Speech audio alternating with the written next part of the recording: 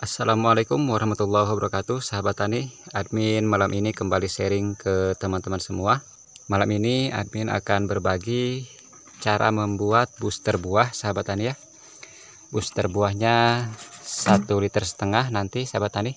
Dan ini juga admin buat karena kebutuhan admin sekarang sudah memasuki pembesaran buah.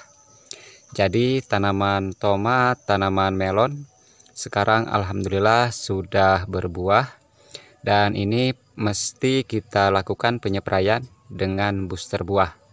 Seperti yang teman-teman saksikan tanaman tomat ini sekarang sudah berbunga dan alhamdulillah buahnya juga sudah semakin besar.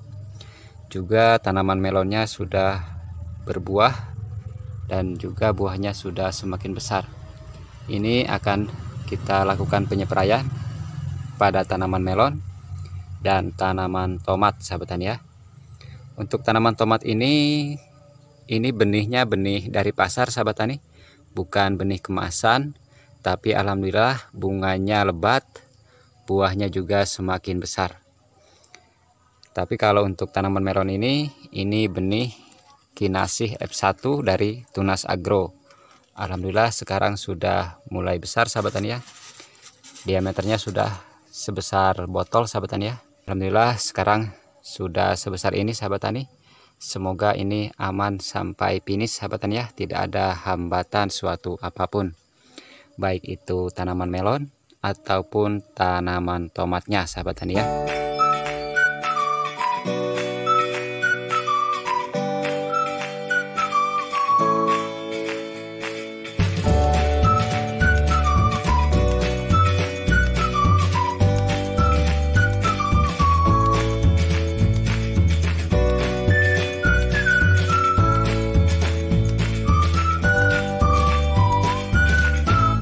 Oke sahabat tani untuk bahannya membuat booster buah satu liter setengah ini kita siapkan ini KNO 3 putih sahabat tani ya.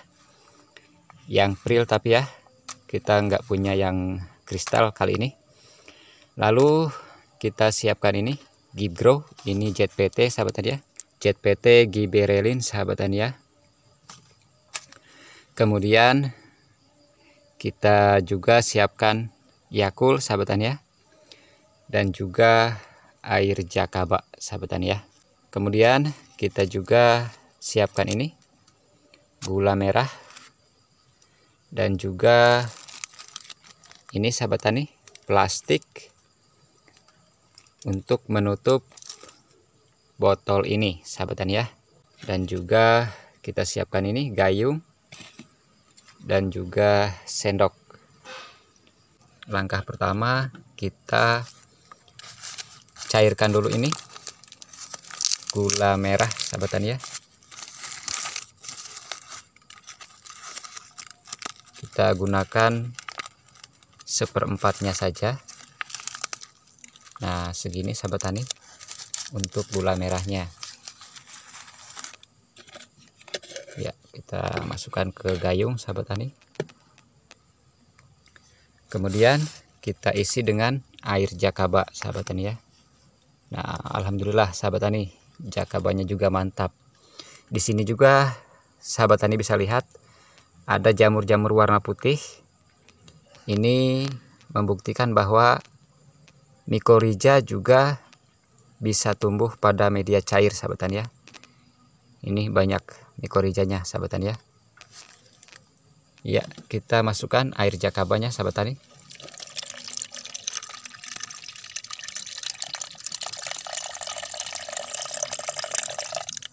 sedikit saja dulu. Kita encerkan ini gula merahnya sahabat tani ya.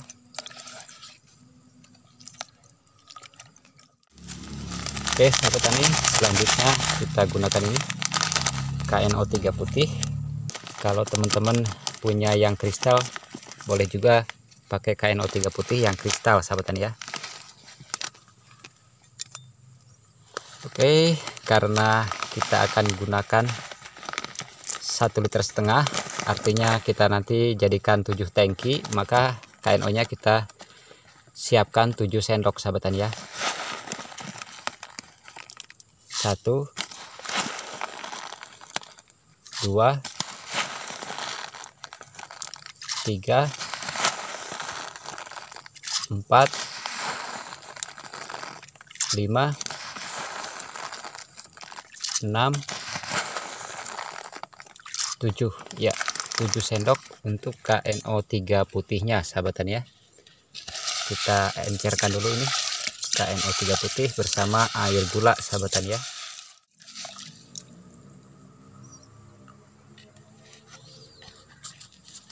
Oke sambil menunggu KNO nya larut kita tambahkan lagi air jakabanya sahabatan ya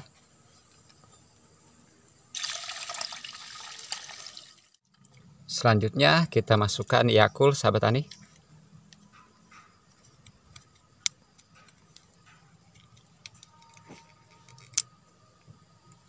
Ya, satu botol Yakulnya sahabat tani.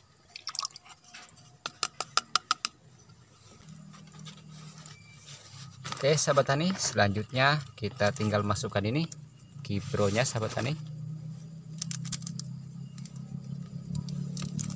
kita gunakan satu saset juga cukup sahabatan ya nggak usah banyak-banyak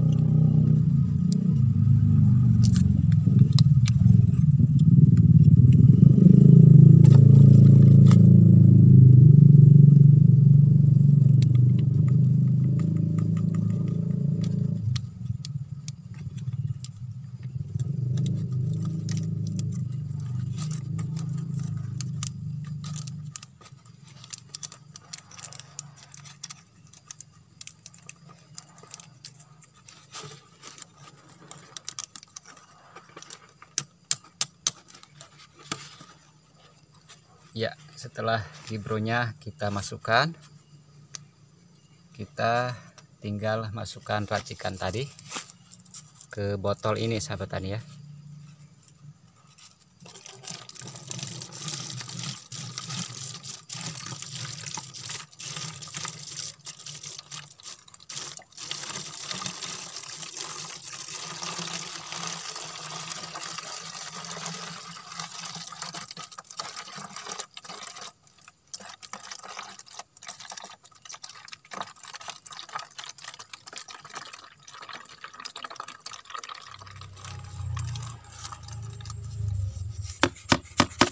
Oke sahabat tani sekarang kita tinggal tambah kembali dengan air jakaba sahabat tani ya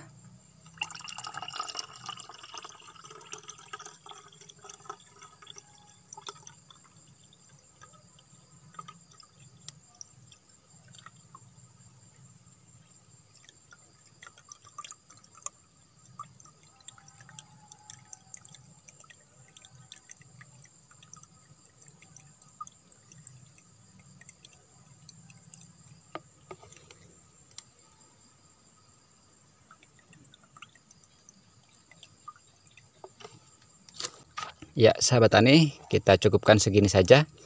Ini sekitar 1400 ml sahabat tani ya. Ini cukup untuk 7 tangki sahabat tani ya. Kita kocok sahabat tani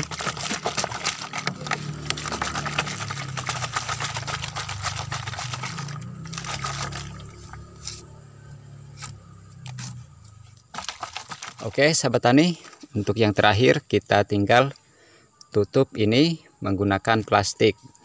Kalau menggunakan tutupnya juga boleh tapi kalau mau menggunakan tutupnya kendorkan saja sahabat tani ya. Kendorkan saja seperti ini karena ini akan menghasilkan gas. Tapi supaya steril kita tutupnya menggunakan plastik saja sahabat tani ya. Seperti ini kita double ya plastiknya. Ya seperti ini. Kita tutup rapat menggunakan plastik. Sahabat tani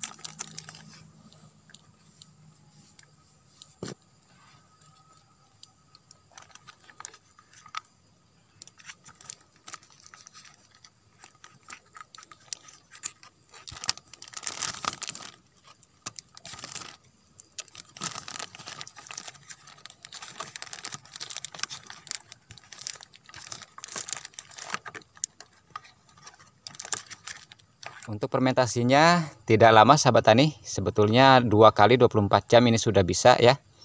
Dua hari dua malam ini sebetulnya sudah bisa diaplikasikan. Tapi kalau sahabat tani pengen bagus ininya hasilnya fermentasi minimal 14 hari ya. 21 hari juga boleh untuk fermentasinya. Oke sahabat tani booster buahnya sudah selesai sahabat tani.